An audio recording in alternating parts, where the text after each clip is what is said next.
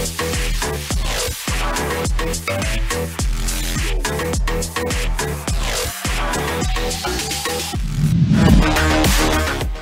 and welcome to M F five news weekly sports round up मैं हूँ सही सलीम। उम्मीद करती हूँ आपका ये वीकेंड भी खैरियत से गुजर रहा होगा और यकीनन फैमिली और दोस्तों के साथ भी अच्छा वक्त गुजार रहे होंगे। तो जनाब आज के वीकली स्पोर्ट्स राउंड अप में सबसे पहली खबर है कि टी ट्वेंटी वर्ल्ड कप के लिए अनाउंस किए गए स्क्वाड पर शदीद तनकीद और कौमी टी ट्वेंटी टूर्नामेंट में कुछ खिलाड़ियों की बुरी परफॉर्मेंस के बाद अब इसमें कुछ तब्दीलियाँ कर दी गई हैं। शोएब मलिक फखर जमान, सरफराज अहमद और हैदर अली को टी ट्वेंटी स्क्वाड का हिस्सा बना दिया गया है, जबकि आज़म खान, हुसनैन और सुहेब मकसूद को टीम से निकाल दिया गया है। 8 अक्टूबर को पाकिस्तान क्रिकेट बोर्ड की जानब से जारी एलामिया में पता चला कि इस दिन टी वर्ल्ड कप के लिए कौमी स्क्वाड में तीन तब्दीलियाँ की गईं, जिनके मुताबिक आज़म खान और मोहम्मद हुसनैन की जगह wicket keeper batsman Sarfaraz Ahmed और हैदर अली को 15 रुकनी स्क्वाड का हिस्सा बनाया गया है। इनके अलावा ट्रेवल रिज़र्व में मौजूद फखर जमान को खुशदिल शख्स से तब्दील करके 15 रुकनी स्क्वाड में शामिल किया गया और कल ये बात सामने आई कि सुहेब मकसूद को भी T twenty World Cup squad से बाहर कर दिया गया है। उनकी जगह ऑलराउंडर शोएब मलिक को टीम में शामिल कर लिया गया है।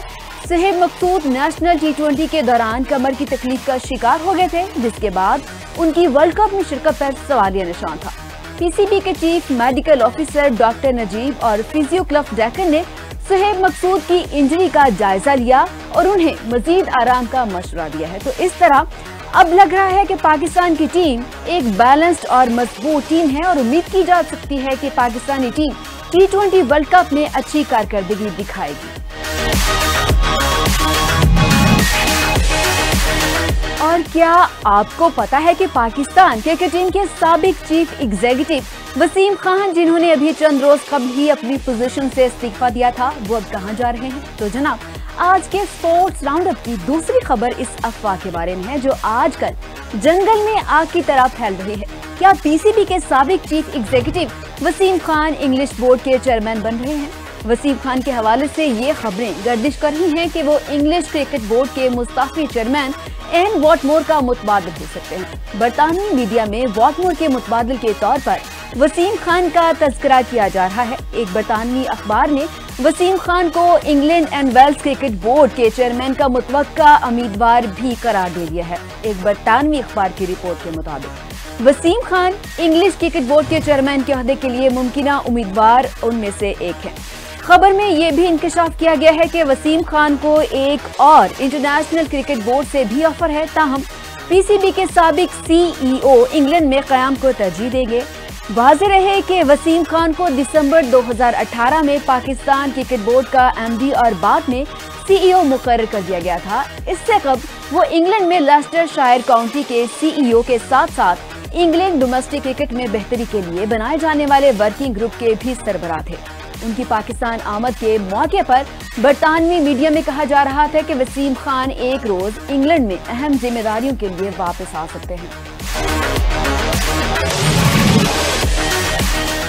आज के स्पोर्ट्स राउंडअप की तीसरी खबर है कौमी क्रिकेट टीम के सबक कप्तान शोएब मलिक के बारे में जो 11,000 टी ट्वेंटी रन बनाने वाले पहले एशियन बैट्समैन बन गए उनतालीस साल शोएब मलिक ने ये संगे मेल जमेरात को नेशनल टी ट्वेंटी कप में सेंट्रल पंजाब और सदर्न पंजाब के दरमियान मैच के दौरान 26 रन की इनिंग खेलकर अबूर किया। शोएब मलिक को मैच से कबल 11,000 रन मुकम्मल करने के लिए 12 रन दरकार थे।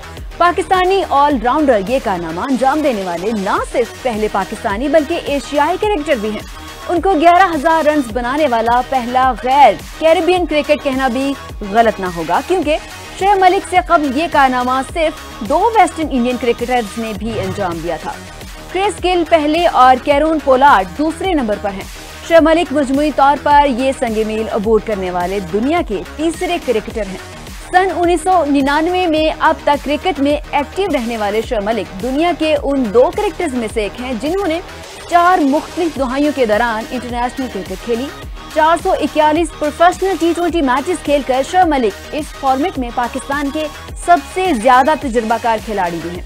वो तीनों फॉर्मेट की प्रोफेशनल क्रिकेट में मजमूई तौर पर उनतालीस हज़ार से जायद रन बना चुके हैं।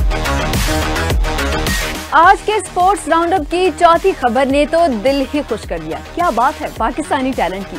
आठ साल पाकिस्तानी जिम्नास्टिक बच्चे ने कपअप्स में वर्ल्ड रिकॉर्ड बना डाला। जी हाँ पाकिस्तान के कम उम्र जिम्नास्टिक खिलाड़ी जासिम महसूद ने गिनेस वर्ल्ड रिकॉर्ड बना डाला है। जासिम महसूद का ताल्लुक जनूबी वजीरस्तान से है। आठ साल जासिम ने 30 सेकंड्स में 22 कपअप्स का चैलेंज सताई कपअप्स करके तोड़ दिया। वर्ल्ड लेवल पर सबसे पहले ये रिकॉर्ड जासिम ने तोड़ा है।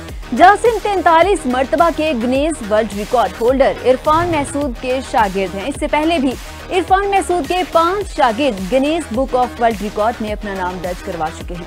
इरफान महसूद का कहना है कि वो मुल्क के लिए मजीद टैलेंट सामने लाना चाहते हैं।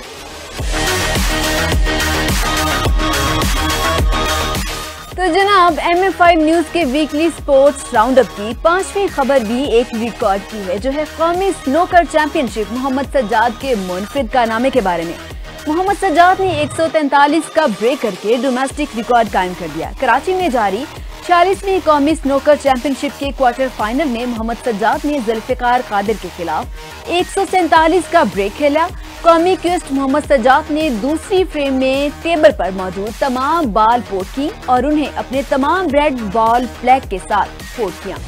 पाकिस्तान स्नोकर के डोमेस्टिक इवेंट में ऐसा पहली बार हुआ है कि किसी भी खिलाड़ी ने एक फ्रेम में टेबल पर मौजूद तमाम बॉल पोट की हो। ये भी याद रहे कि स्नोकर मुकाबले के एक फ्रेम में ज़्यादा से ज़्यादा ब्रेक एक का ही किया जा सकता है। आज के वीकली स्पोर्ट्स राउंडअप से इतना ही। इंशाल्लाह अगले हफ़्ते फिर स्पोर्ट्स राउंडअप में मुलाकात होगी। तब तक के लिए अपना बहुत सारा ख्याल रखिएगा। मुझे सहरी सलीम को इजाज़त दीजिए। अल्लाह हाफिज।